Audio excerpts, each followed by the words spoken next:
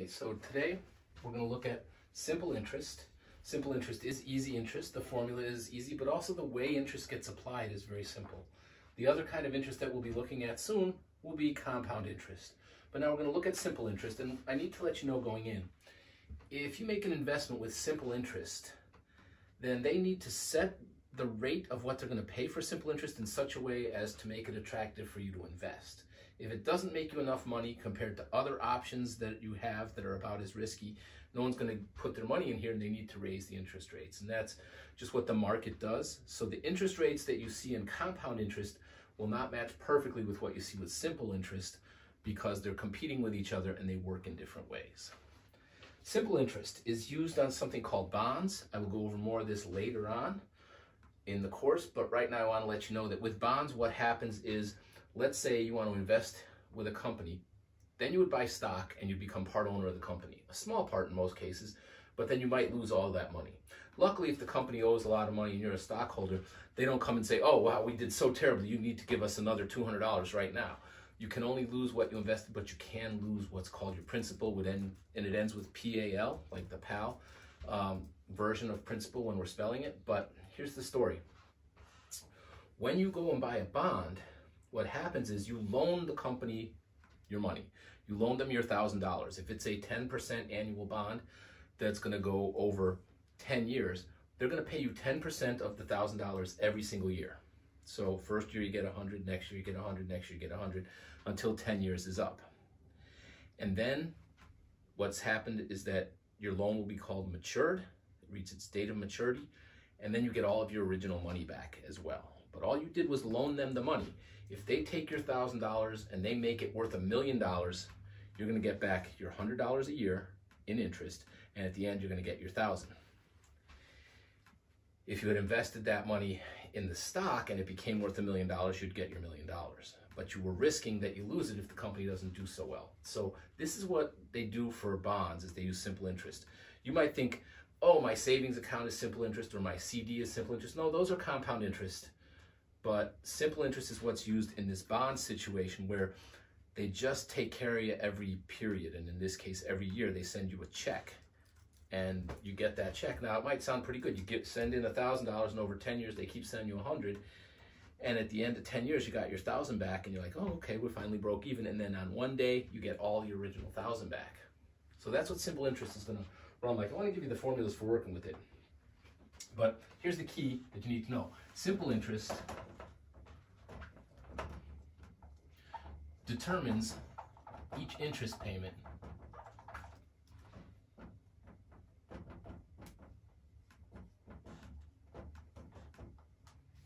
based on the amount of your initial investment. So the first amount of money you put in is what they do determine how much your payments of interest will be and it doesn't get bigger over time. It's $100 every year instead of doing the other thing, which is when you get to let it multiply and grow, and it grows slowly at first and a lot at the end, and that's called compounding. This does not have that. Your initial investment is called your principal.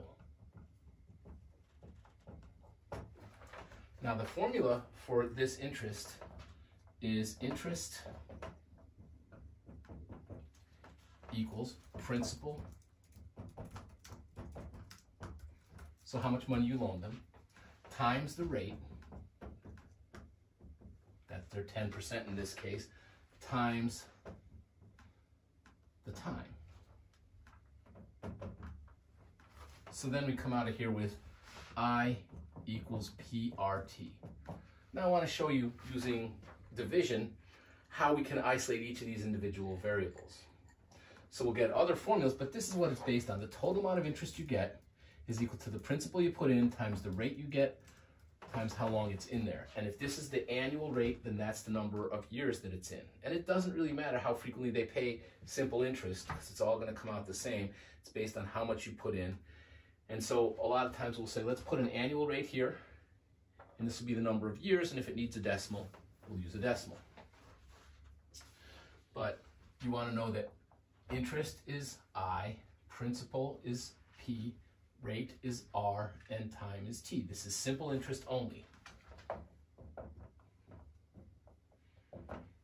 Okay, and always what we have with this is now the account balance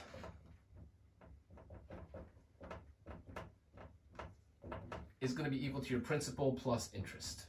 What's your account worth? Well, up to that moment, it's worth what you put in plus what you got in interest. So if you just tell them, you know what, take the $100 each year and put it in cash in my safe deposit box right there at your bank, that's kind of like what happens. And then at the end of the time, you can go in and pick up your money. Or if after three years, like, oh man, I need that 300, you go in, open your safe deposit box, and you go spend the interest. But with a situation where we're doing a bond, you can't go get your principal back. Okay. So the period, the APR, this is not A times P times R. This is A period P period R, is the annual, which means once a year, percentage, which means over 100, rate. There you go, APR. That's what you're often going to hear when they advertise interest. What's the APR? What's the annual percentage rate of this interest? So this is going to become an issue we're going to have to deal with down the road when interest is paid in a compound fashion. Then it matters if you get paid monthly or quarterly or every week or every day or whatever other ways they do it. But when you're doing simple interest, it's really just how much did you put in, what are you getting paid each year? How many years? Multiply, multiply, multiply. Now, if I wanted to take this and do some other things, I could take my A equals PRT and say, you know, I need to isolate P. So let me divide both sides by RT. And I hope you'll be able to do that. And you'll be able to see that P equals I over RT. I can take my I equals PRT. And if I wanted to determine my R, I would divide both sides by PT. And get these out of here, and we're going to get that R equals I over PT. And finally, I equals PRT. And we want to get the T alone. We're going to divide each side by P and R, P and R. And we're going to get the time equals total interest divided by P and R. So those are all possibilities of what we're going to have to do. You can find each individual one that you need, or you can plug in the three values that you have. If you're looking for I, you'll go ahead and multiply them. And if you're looking for anything else, you'll start with I, you'll divide by the other two. R goes in as the rate that's going in actively per period. So when you want to do it, if it's 10% interest, you can't put a 10 there. You might say, oh, 10%, 0.10. That's accurate and that'll work.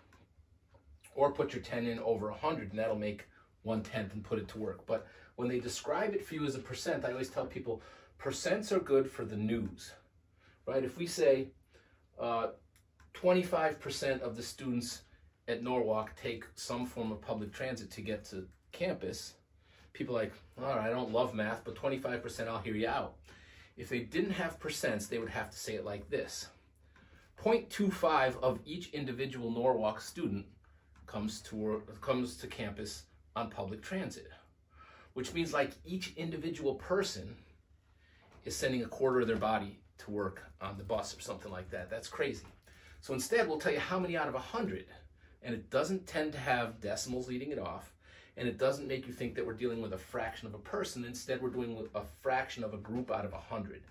So percent is easier for people to consume, and so percents are used like that. But when they're getting to work, they should be put back to being fractions and get to it. So now I've got a couple questions here that I want to ask. I'm going to let you know that I have $12,000 invested. That's my principal. At 3% APR. Okay. And the questions come out like this. How much interest do I earn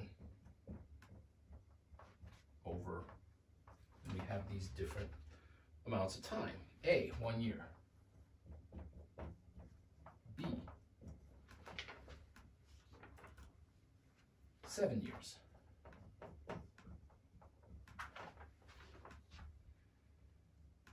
And C, five months.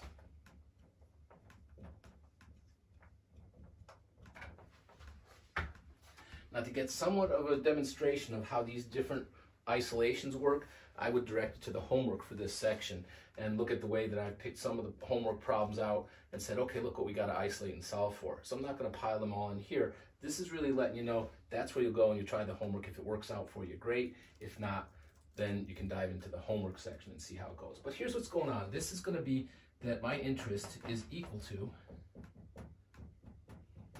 now, all three times I'm starting with $12,000. So I'm going to go ahead and put in $12,000. It includes the dollar sign, and that'll bring the dollar sign all the way across as I do my work. So my answer will also be in how many dollars I make in interest. Times, so I'll put my star here for multiplication. Principal done. Rate, 3% for the year. So I'm going to put in my 3 and I'm going to divide by 100. That's 3 over 100, or 3 divided by 100, also known as 0.03, but it is not 0.03 and then divided by 100. That'll make it too small. So this is me representing 3%. When I have a percent, I put it over 100, I divide it by 100. So there's my 3%. Times, and now I have T for each one of these. The amount of time each one is in the investment. So on this one, the first one is one year, and this is an annual percentage rate, so three is perfect the way it is. And I'm figuring out how many years was that. It was one year, so I'm going to multiply by one. And we'll come out of here with what that makes. And what we find is 12,000 times 3 divided by 100 gets me $360. So for that year, if I kept the money in, and maybe I agreed to just do it for a year at the end, I'd have $360. That's my 3% of the 12,000 and at the end of the year I could go pick up my $360 of interest and if I'm all done with it I'll also take my 12,000 home. Now on this one they have seven years. So it's going to be the same multiplication but it's going to be seven times as much. And it's going to be $2,520 but it takes me seven years to get there.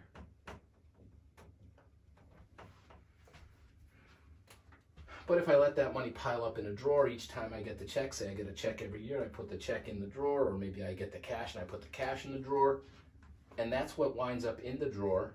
When my seven years is up, I have that, and I get back my $7. Now, what if I agree to just do this for five months? Five months. I can't multiply this by five and get over $1,500 because five months is less than a full year. Five months is a fraction of a year, so I need to create that fraction. And what that is, is it's 5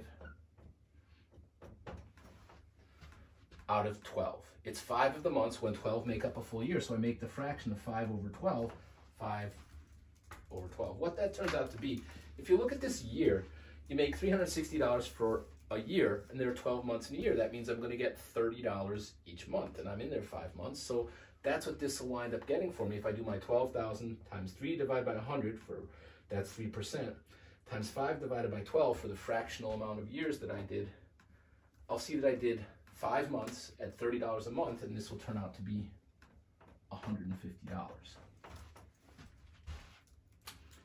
But you need to recognize that the APR is a percentage, and that percentage is generally for the year. When you're looking at a periodic interest rate, we'll see it in the future, that what we're going to do is we're going to take that APR and we're immediately going to divide it by 100 because of the percent. And I will say that. I'll have, you know, 7.2%. 7.2 divide by 100 because of percent. And then more words will follow. When we get into times when the periods matter per year, I'll say divided by 12 for months or divided by 52 for weeks or whatever it is because we're going to need the periodic interest rate. Right now, we're just looking at the annual in interest rate in play, and we may have a fraction or decimal for how many years we work with it.